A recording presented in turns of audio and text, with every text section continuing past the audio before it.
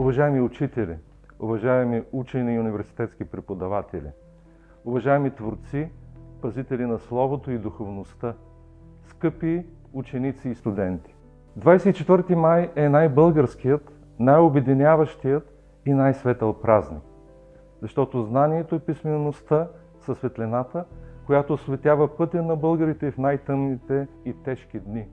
24 май е денят на почет към Словото, към знанието, към духовността, защото Словото и знанията са в основата на живота. Те са памет, градят моста между миналото и бъдещето, свързват поколенията и са непреходни.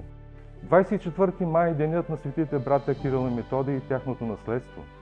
Този ден е гордост и радост за всички българи, където и да се намират по света. Защото нашите букви са нашата идентичност и нашия принос в многообразието на европейската култура. Те са българското културно наследство, съхранено от нашата държава от далечни векове до днес. Безусловно България е част от съвременна Европа чрез своята азбука, книжовност, богослужебни традиции и духовен опит. Силата на книжовността, възпята от Стоян Михаловски, не само не намалява с времето, но и дава истински смисъл на празник.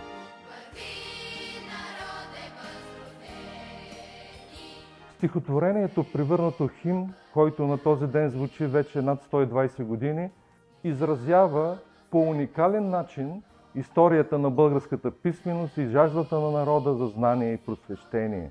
И днес Словото удивлява със способността да променя света и хората към добро, с мощта си да преодолява времена и разстояния, конфликти и страдания, да обединява и да дава вяра.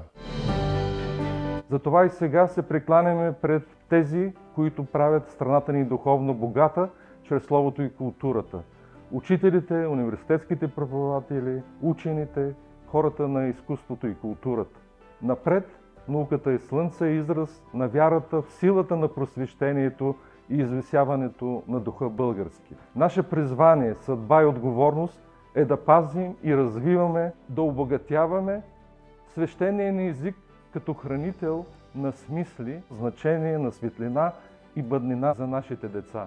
Защото знанието винаги прави светло бъдещето ни. Днес българските талантливи млади хора продължават да прославят страната ни във всички области на знанието.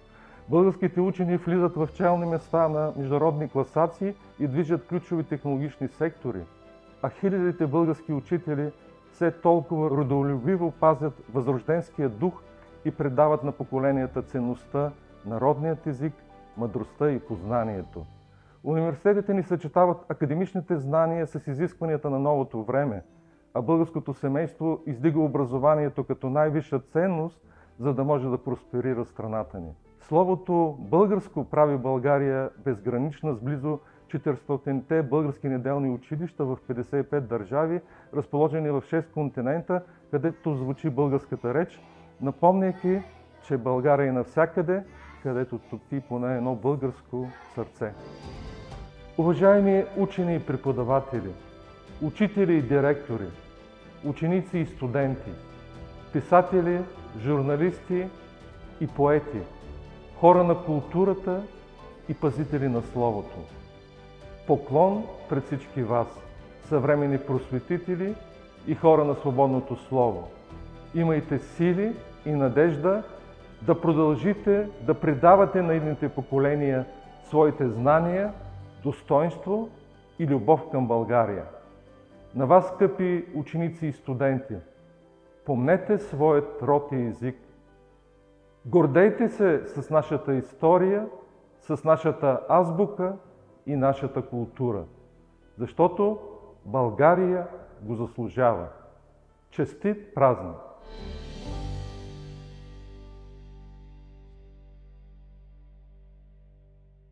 И студенти.